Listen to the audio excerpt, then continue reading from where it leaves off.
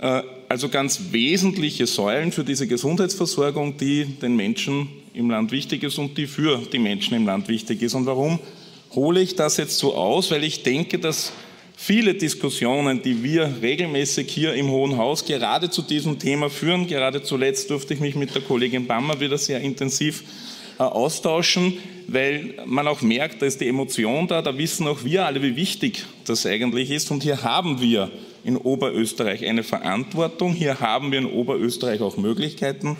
Und darum muss ich jetzt an dieser Stelle einfach auch festhalten, dass es für mich etwas befremdlich ist, wenn der Abgeordnete Eigner in einer Pressekonferenz am Montag den Landtag als Kindergeburtstag bezeichnet. Ich glaube, diese Verniedlichung haben wir uns als Landesparlament tatsächlich nicht verdient. Sie ist bei weitem nicht angebracht äh, und äh, möchte das hier gesagt haben und vielleicht äh, hat der Abgeordnete Eigner ja heute noch einmal Gelegenheit, über die Wertigkeit des Landtags aus seiner Sicht zu sprechen. Danke, Herr Präsident. Ja, nachdem die fachliche Diskussion und Debatte offensichtlich abgeschlossen ist, möchte ich ganz kurz replizieren.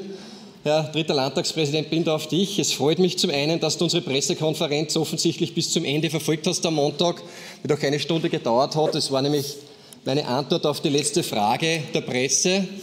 Und da bin ich gefragt worden, warum ich in Betracht ziehe, den Oberösterreichischen Landtag zu verlassen und in den Nationalrat nach Wien zu wechseln. Und da habe ich gesagt, im Vergleich dazu was es für die Menschen in Österreich zu tun gilt und gibt, ist das, was wir im Oberösterreichischen Landtag machen, vergleichbar mit einem Kindergeburtstag. Das wird jetzt die Oberösterreicher im Landtag wehtun, aber im Vergleich zu dem, was es für die Menschen in Österreich zu tun gibt und zu tun gilt, ist ein Landtag ein Kindergeburtstag. Wir beschließen dort Dinge, die nicht unwichtig sind, aber vielleicht nicht auf Landesebene stattfinden müssen. Wir diskutieren über ein Feuerwehrgesetz, ein oberösterreichisches, das kann man vielleicht österreichweit regeln, über ein Hundehaltegesetz, das jetzt beschlossen wird, ein neues, über ein Katastrophenschutzgesetz. Alles ganz, ganz wichtige Themen. Die Frage ist, muss sich für das ein Landesparlament beschäftigen?